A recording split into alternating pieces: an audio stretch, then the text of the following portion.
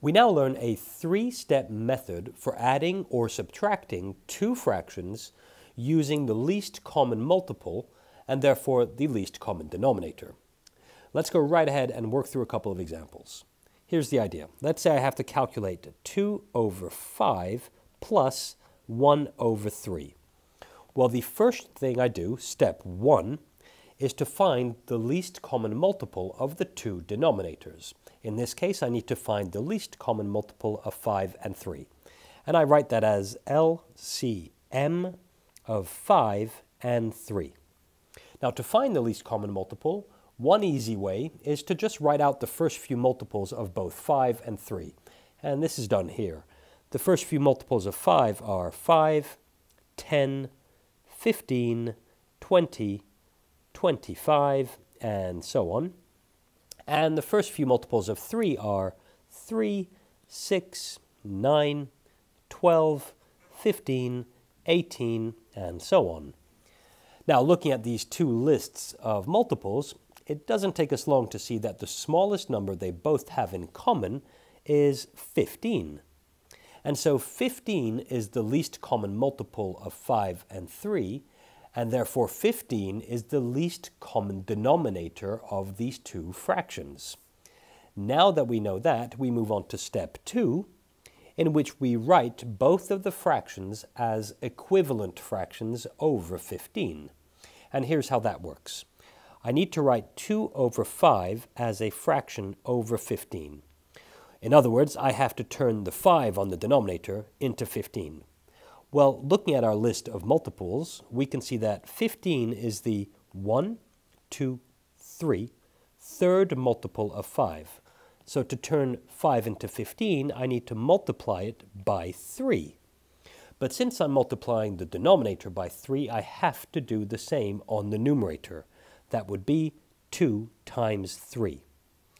That is now equal to 6 over 15. Okay, we now do the same thing for the second fraction. That was 1 over 3. Now, to turn 3 into 15, we look at our list of multiples again. We can see that 15 is the 1, 2, 3, 4, 5, fifth multiple of 3.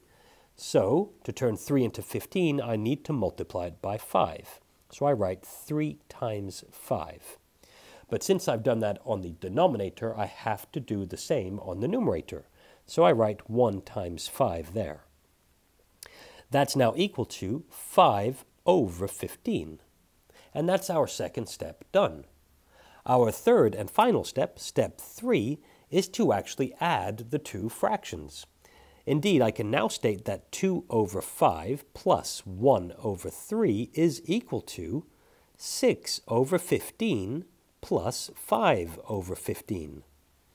And now that both of the fractions are written over the same denominator, we can add them simply by adding their numerators. That would be 6 plus 5 over 15. And finally, that's equal to 11 over 15. And that's the final answer. Now, the good news is this method works as soon as we have to add any two fractions.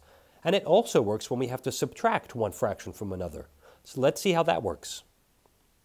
Let's say we have to calculate 3 over 4 minus 1 over 5. Well, again, we follow our three-step method. The first step, remember, we need to find the least common multiple of the two denominators. So in this case, we need to find the least common multiple of 4 and 5. I write this LCM, least common multiple, of 4 and 5. Okay, well, let's go ahead and write the first few multiples of 4 as well as the first few multiples of 5. So the first few multiples of 4 would be 4, 8, 12, 16, 20, 24, and so on. And the first few multiples of 5 would be 5, 10, 15, 20, 25, and so on.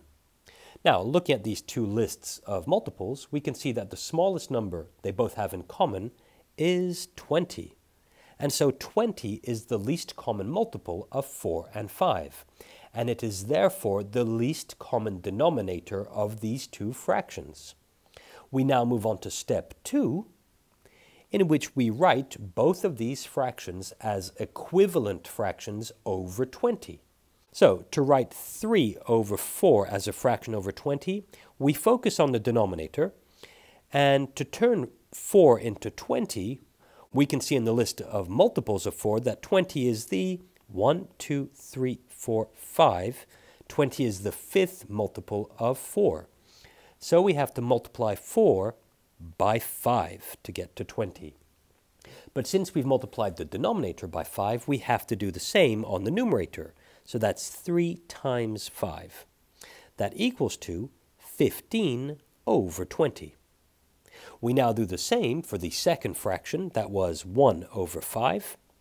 And to get from 5 to 20, well, we can see in the list of multiples of 5 that 20 is the 1, 2, 3, 4, fourth multiple of 5. So we have to multiply 5 by 4. That's 5 times 4 on the denominator. But since we've done that on the denominator, we have to do the same on the numerator. That would be 1 times 4. And so this equals to 4 over 20. Now we can move on to the third and final step, step 3, in which we actually do the calculation. At this stage, we can write 3 over 4 minus 1 over 5 equals to 15 over 20 minus 4 over 20. And since both of these fractions are written over the same denominator, we can do this simply by subtracting 4 from 15 on the numerators. That's equal to 15 minus 4 over 20. And finally, that's equal to 11 over 20. And there we go. That's the final answer. And the three steps we've just learned here will always work as soon as we're adding or subtracting with fractions. So do make a note of them. There we go, everyone. I really hope that helped. And if it did, please hit like on this video and even subscribe to our channel because that really does help us. See you soon.